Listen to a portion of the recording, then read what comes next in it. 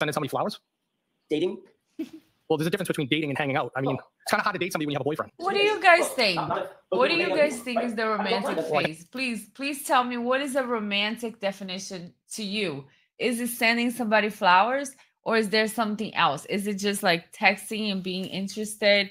Uh, you know, having an attraction? Is it dating? Is it kissing? What is the romantic phase to you guys?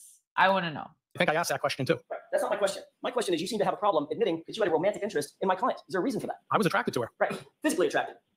I thought she was an attractive woman. Romantically attracted. I'm not going to go there. No, I don't, I don't agree with that. Of course you're not going to go there because that would put you in a very awkward position, wouldn't it, sir? Objection. Not at all. So the, the objection sustained is to the form. You can ask it differently. I'm And gonna continue that answer going will be right stricken. here. Sorry, Your Honor. May I? Yes. You were sexually attracted to her. I was physically attracted to her, yes. Sexually attracted to her was my question. Well, I think in the text I said you're hot. Okay. You wanted to get So my question is, naked? Higgins, you seem to not want to answer my question. My question is, were you or were you not sexually attracted to my Did you want to get naked? Yes.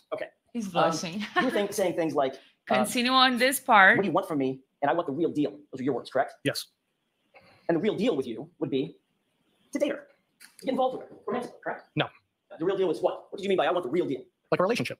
What kind of relationship? What- what Eventually, but I don't think he meant while This they were the same thing everybody texting. A, a real It was already romantic. I think he means, It's you know, he wanted to know what was going on. And she was answering with things like, He wanted to know what was going on. And if, yes, if it came to be something,